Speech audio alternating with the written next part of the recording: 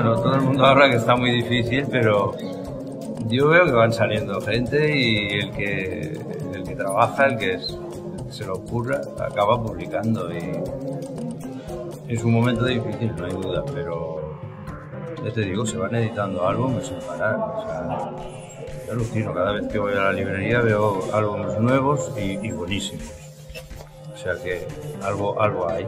Es positivo porque la gente que está empezando necesita estímulos, necesita, si no puede publicar, pues una cosa así está muy bien, porque esta chica que acabo de ver que es fabulosa, me he quedado. Yo creo que aquí en España hay, mucha afición y cada día hay más. O y gente joven dibujando que son buenísimos. O buenísimos.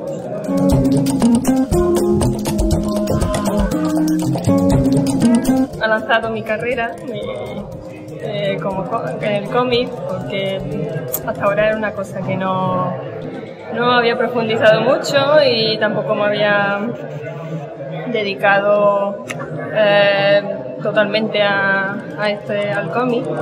Y ahora pues no sé eh, eh, que ya estoy teniendo un nombre ya se va conociendo pues pues ya me está facilitando las cosas, así que bueno, está difícil, ¿no? Porque eh, la edición aquí no es muy numerosa, pero bueno, con estos premios la verdad que, se saca gente y te dan oportunidad y bueno, a través de estas cosas pues se puede hacer, se puede lanzar, ¿no? A más gente. Yo lo veo positivo, la verdad, si, si lo tratan con esta dignidad, ¿no? Que además te publican una obra que esto ya te da más categoría. Así que a mí no me parece mal, además.